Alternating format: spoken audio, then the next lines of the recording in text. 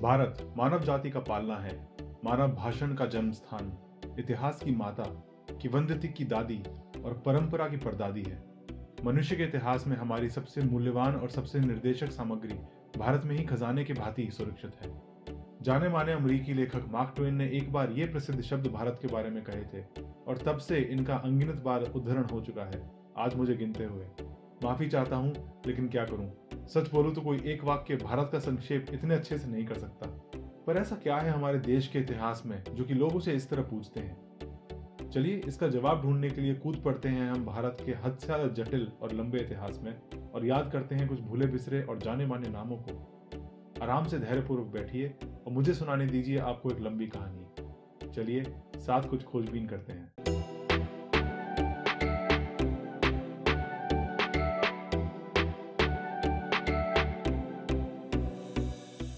नमस्ते मेरे प्यारे दोस्तों, मैं हूँ ध्रुव और आपका स्वागत है दी इंड वर्ड्स पे। भारत के बारे में कुछ नया जानने का एक नया स्रोत। ये मेरी पहली वीडियो है उस श्रृंखला में जिसे मैं कहलाना चाहूँगा इंडियन इतिहास। और ये वीडियो श्रृंखला घूमेगी भारत के प्राचीन और वर्तमान इतिहास पे, जिसमें हम केंद्रित रहेंगे उन युगों और घटनाओं पे जिन्होंने देश को उसका आकार दिया है। आज की इस वीडियो में हम शुरू करेंगे एक लंबी और घुमावदार यात्रा भारत के लगभग 5000 साल पुराने इतिहास की। और हम कोशिश करेंगे कि समय की शुरुआत से लेकर अब तक के सारे महत्वपूर्ण विषय हम इस कहानी में शामिल करें। लेकिन क्योंकि ये ऐतिहासिक समय रेखा कुछ ज़्यादा ही लंबी और जटिल है, इस यात्रा को अपने और आपके लिए आसान करने के लिए मैंने इसे 12 युगों में विभाजित कर दिया है, जिनको मैं छह भाग की वीडियो श्रृंखला में शामिल करूँगा। ये 12 युग कुछ इस प्रकार से बांटे गए हैं। प्रारंभिक मानव इतिहास, सिंधु घाटी सभ्यता, वैदिक युग, ये तीन युग पहली वीडियो यानी कि इस वाली में शामिल होंगे। फिर हम आएँगे प्राचीन भारत, प्रारंभिक शास्त्रीय भारत और देर शास्त्रीय भारत पे। ये तीन युग दूसरी वीडियो में शामिल होंगे। फिर हम आगे बढ़ेंगे मध्यकालीन भारत, देर मध्यकालीन काल और मध्यकालीन काल के बाद के युगों में। ये तीन युग तीसरी वीडियो में शामिल होंगे। चौथी वीडियो केवल ब्रिटिश राज युग के ऊपर बनेगी और पांचवी वीडियो में हम बात करेंगे स्वतंत्रता के बाद के समय की। और फिर छठी और आखिरी वीडियो बनेगी उदारीकरण के युग पे। जो कि उन्नीस से लेके आज तक का समय है। हम इस छह वीडियो की श्रृंखला का नाम रखेंगे इंडियन हिस्ट्री 101 जिसका मतलब है भारतीय इतिहास की नींव। छोटी सी एक टिप्पणी है यहाँ। मैं जानता हूँ कि इस वीडियो श्रृंखला में मैं जिस भी विषय पर बात करूँगा, उस पर अपने आप में पूरी एक वीडियो, नहीं तो एक पूरी श्रृंखला बन सकती है वीडियोस की।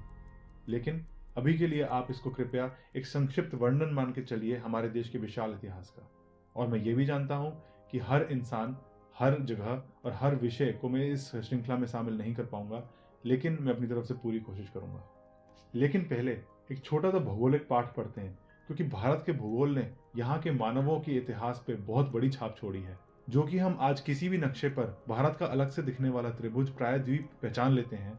वे अभी से एक दशमलव एक अरब यानी कि 110 करोड़ साल पहले से ही कुछ ऐसा सा दिखता है। जब ये भूभाग उस समय के रोडिनिया नामक महाद्वीप का हिस्सा था। वहाँ इस भूभाग का पूर्वी हिस्सा पूर्वी अंटार्कटिका से रगड़ रहा था, जिससे आज देखे जाने वाले पूर्वी घाट बने। फिर अभी से 55 करोड़ साल पहले ये त्रिकोणीय भूभाग हिस्सा बन गया गोंडवाना नामक महाद्वीप का। और यहाँ ये बीच में था आज के माडागास्कर और अंटार्कटिका भूभागों के बीच, जबकि माडागास्कर था भारत और अफ्रीका के बीच, जब गोंडवाना 15 करोड़ साल पहले टूटा। तब ये भारत और माडागास्कर के भूभाग साथ साथ वहाँ से चलते बने दो जिगरी यारों की तरह कंधे से कंधा मिला के। बट जल्द ही, लगभग दस करोड़ साल पहले, इन दोनों के रास्ते अलग हो गए और माडागास्कर जहाँ आजकल है, उसके आसपास ही रह गया और भारतीय भूभाग आगे बढ़ता चला गया। इस दोस्ती में आई दरार से हुई रगड़न की वजह से हमारे दक्षिणी घाटों का जन्म हुआ और आखिरकार, अभी से पाँच दशमलव पाँच करोड़ साल पहले, ये त्रिकोणीय भूभाग आके टकराया यूरेशिया नामक महाद्वीप से जो कि आज भी वही महाद्वीप है जो यूरोप और एशिया बनाता है। इस विशाल टकराव की वजह से धरती से उठी तीन पहाड़ों की श्रृंखला, उत्तर में हिमालय, पश्चिम में हिंदुकुश और पूर्व में अराकनीस, और तीनों ने रूप लिया इस भारत के त्रिकोण की प्राकृतिक सुरक्षा कवच का। न अंदर आना आसान था, न बाहर जाना। और इसी कारण भारतीय उपमहाद्वीप दूसरों से इतना अकेला और इतना अनोखा है। तो अब उबाऊ भूगोल को पीछे छोड़ते हुए आगे बढ़ते हैं और इससे भी उबाऊ इतिहास से पंगा लेते हैं। शुरू करते हैं प्रारंभिक मानव इतिहास से, जो कि था तैतीस सौ ईसा पूर्व तक। हालाँकि प्रोटो मानव, जो कि वर्तमान मानवों के पूर्वज थे, द्वारा उपयोग किए जाने वाले औजारों का पुरातत्विक सबूत भारतीय उपमहाद्वीप पर 20 लाख साल पहले तक के युग से पाया गया है। हमारे पास मानवों का और भी निश्चित सबूत है, दस हज़ार ईसा पूर्व के बाद। इस युग के दौरान कई बस्तियाँ पाई गई हैं, जैसे कि भिम्बेटका इडकल और मेहरगढ़ की गुफाएँ। और वे 3300 ईसा पूर्व तक सिंधु घाटी सभ्यता की शुरुआत तक पाई गई हैं। इस युग के अंत की तरफ़ पुरातत्विक सबूत तो खेती और पशुपालन का संकेत दिखाना शुरू करते हैं, जो प्रमाण है कि मानवता इस समय के आसपास बसने लगी थी। अब हम आगे बढ़ते हैं सिंधु घाटी सभ्यता की तरफ़, जो कि 3300 ईसा पूर्व से 1700 ईसा पूर्व तक जीवित थी। अब इस युग तक आते आते चीज़ें और भी मज़ेदार हो जाती हैं, क्योंकि सिंध नदी के किनारे आज के पाकिस्तान में हमें सन 1840 के आसपास ठोस सबूत मिले एक विशाल, समृद्ध और व्यापक सभ्यता के। ये मेसोपोटेमिया और इजिप्ट की प्राचीन सभ्यताओं के साथ की थी और तीनों में सबसे बड़ी भी थी। ये सभ्यता ईंटों से बने घरों, शहरी नियोजन, जल निकासी व्यवस्था, बहुस्तरीय घरों, बारों की प्रणाली त्रोटोदंत चिकित्सा के ज्ञान के इत्यादि के लिए प्रसिद्ध है और माना जाता है कि वहाँ किसी तरह का नगर पालिका संगठन भी था। आज तक कुल 1000 से ऊपर ऐसे शहर और बस्तियाँ पाए गए हैं। लगभग 1700 ईसा पूर्व के आसपास इस सभ्यता में गिरावट शुरू हुई। संभवत एक जलवायु बदलाव की वजह से सिंधु नदी ने अपनी दिशा बदल ली थी। इस कहानी को आगे बढ़ाते हुए मैं एक बेहद संवेदनशील और विवादास्पद विषय पर टिप्पणी करना चाहूँगा। माना जाता है कि सिंधु घाटी सभ्यता को मुख्य रूप से द्रविड़ लोगों ने शुरू किया था और फिर सभ्यता के अंत की तरफ़ आर्य आए थे, जिनके प्रवासन को आक्रमण का भी रूप दिया जाता है। लेकिन क्योंकि ये सिर्फ़ एक मत है और साफ़ साफ़ किसी को नहीं पता कि इस युग में हुआ क्या था और द्रविड़ और आर्य लोगों के बीच के संबंध इस युग में थे क्या। हम इस विवादपद विषय को अलग रखते हैं और आगे बढ़ते हैं इस कहानी में उन तथ्यों के साथ जो कि हमें लगता है कि हमको पता है। और अब हम आ चुके हैं वैदिक युग में, जो कि 1700 ईसा पूर्व से 600 ईसा पूर्व तक था। अब आर्य लोगों के आने के बाद वैदिक युग शुरू हुआ था। इतिहासकारों के बीच में इस बात को लेकर बहुत मतभेद है कि आर्य थे कौन और आए कहाँ से थे। लेकिन ज़्यादातर ये माना जाता है कि आर्य मूल रूप से पशुचारक गण थे, चलवासी थे मतलब एक जगह नहीं टिकते थे और पशुओं को चराने के लिए नए क्षेत्र ढूंढते हुए आगे बढ़ते चलते थे। और वे मध्य एशिया के कैस्पियन सागर के क्षेत्र से निकले थे और इन्होंने हिंदू कुश पर्वत के खाइबर पास के माध्यम से भारतीय उपमहाद्वीप में प्रवेश किया था। इस युग को हम वैदिक युग कहते हैं, क्योंकि इस समय वैदिक संस्कृत में चार वेद लिखे गए थे। वैदिक संस्कृत अपने आप में संस्कृत भाषा की सबसे पुरानी पाई गई लिपि है और संस्कृत को तो उत्तरी भारत की लगभग सारी भाषाओं की माता कहा जाता है। यहाँ पर ध्यान दें कि तमिल भाषा, जो कि दक्षिण भारत की प्रमुख भाषाओं में से एक है, में चल रही शोध भी ये बताती है कि शायद तमिल भी बहुत पुरानी है और माना जाता है कि समय रेखा में संस्कृत के आसपास या उससे पुरानी भी हो सकती है। अब सुनिए, इंटरनेट पे तो आपको कई ऐसे लेख, तर्क और बहस मिल जाएँगे, जो कि एक भाषा को प्राचीन बताते हैं या फिर दूसरी को और दोनों को ही दुनिया की सारी भाषाओं की माता बताते हैं। बट ये एक बहुत ही अनजान क्षेत्र है और मैं इस वीडियो में इस चर्चा से बचना चाहूँगा। वेद कुल मिला के चार लिखे गए थे ऋग्वेद यजुर्वेद सामवेद और अथर्ववेद।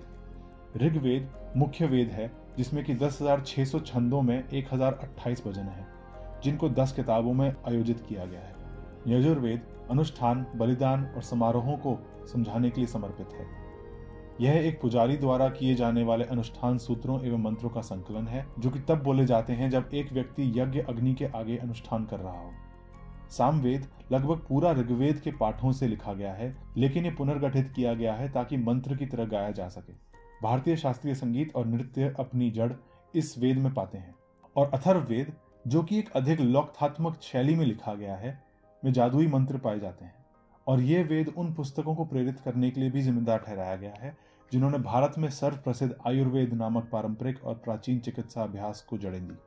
ये युग वो समय था जब गंभीर सांस्कृतिक और सामाजिक परिवर्तन हो रहे थे और भारतीय लोग परिभाषित कर रहे थे अपने जीने के तौर तरीकों को, अपनी संस्कृति को और उस हिंदू धर्म को जिसको कि आज हम जानते हैं। लोग अब सिंध नदी के किनारों से उठ के गंगा नदी के मैदानों में आके बस चुके थे। और क्योंकि इस नदी का पानी जीवन को संभव करता था, ये नदी आज भी भारत की सबसे पवित्र नदी मानी जाती है। हालाँकि उसकी हालत कोई बहुत अच्छी है नहीं, पर इस पर हम कभी बाद में चर्चा करेंगे। अब क्योंकि मनुष्य सिंध नदी से हटके गंगा नदी के किनारे आके रहने लग गया था, और इसी समय लिखना पढ़ना भी शुरू हुआ था, ये बात समझ में आती है कि क्यों गंगा इतनी पवित्र मानी गई है हमारी संस्कृति में और हमारे वेद पुराणों में। जरा सोच के देखिए अगर लिखना पढ़ना उस समय शुरू हो चुका होता जब हम लोग सिंध नदी के आसपास रह रहे थे तो शायद हमारे सारे वेद पुराणों में सिंध नदी सबसे पवित्र मानी जाती। सोचने की बात है कि नहीं दोस्तों? इस समय पे समाज और कृषि संबंधी हो चुका था और लोगों को काम के प्रकार के आधार पर वर्गों में बांटा जाना भी शुरू हो चुका था, जो कि आज तक भारत में पाया जाता है हमारी बदनाम जाति व्यवस्था के नाम से। जाति व्यवस्था हमारी पुरानी हिंदू संस्कृति का तोहफा है, जो कि वर्ण व्यवस्था के रूप में आरंभ हुआ था। जिसमें चार जाति या वर्ण हुआ करती थी। ब्राह्मण थे पुजारी, शिक्षक और वेद पुराणों के मौखिक परंपरा के वाहक। क्षत्रिय थे योद्धा और अपने साहस और लड़ने की शक्ति के लिए जाने जाते थे। वैश्य, कृषि, व्यापार और वाणिज्य संभालते थे और शूद्र थे सामान्य मजदूर वर्ग, वर्तमान समय में सामान्य कार्य बल के समान। ये माना जाता है कि वैदिक युग के शुरू के हिस्से में हज़ार ईसा पूर्व तक जात पात के नाम पे कोई भेदभाव नहीं था और चारों जातियाँ एक कर्मठ समाज के लिए एक समान महत्वपूर्ण थी। पर फिर यह भी माना जाता है कि धीरे धीरे वैदिक युग के अंत की तरफ़ ऊँची जातियों ने और विशेषकर ब्राह्मणों ने जात पात और भेदभाव शुरू कर दिए थे। अब इस बात में कितनी सच्चाई है, ये तो सौ प्रतिशत कोई नहीं कह सकता। लेकिन हम इस सच्चाई से नहीं मुकर सकते कि इस जाति प्रथा का असर हमें अपने भारतीय समाज पर आज दिखाई देता है। और मुझे पता है कि ये बहुत ही विवादास्पद और संवेदनशील विषय है और इस पर आगे जाके मैं कई वीडियो बनाऊँगा जिनमें कि हम ढंग से वाद विवाद और चर्चा कर सकते हैं। इस युग का एक और ध्यान देने लायक दिलचस्प पहलू हैं वो दो संस्कृत महाकाव्य, जो कि 1980 और 1990 में बड़ा हुआ हर बच्चा और बड़ा जानता होगा। महाभारत और रामायण, ये दोनों भी इसी युग में आरंभ हुए माने जाते हैं। हालाँकि कोई तरीका नहीं है ये पूरी तरह से पता लगाने का कि ये कब लिखे गए थे। महाभारत तो आज तक दुनिया की सबसे लंबी कविता है, जिसमें कुल मिलाकर 18 लाख शब्द हैं। यह रामायण की लंबाई के लगभग चार गुना है। और गौर करें, हमें इस बात को नहीं भूलना चाहिए कि इन कविताओं और कहानियों के हमारे पास ना के बराबर ऐसे पुरातत्व प्रमाण हैं जिनको हम सौ प्रतिशत सच मान सकें। और ना जाने इन कहानियों और कविताओं में पिछली कई सदियों में कितने बदलाव और कितने अनुवादिक भूलें हुई हैं, बिल्कुल वैसे ही जैसे कि दुनिया भर के दूसरे पुराने धार्मिक ग्रंथों और किताबों में होते हैं। इस युग में कई जनपद भी खड़े होने शुरू हुए, जो कि क्षेत्र गणराज्य और साम्राज्य थे। इनमें से सबसे ज़्यादा जाने माने थे कुरु, पंचाल, कोसल और विदेह।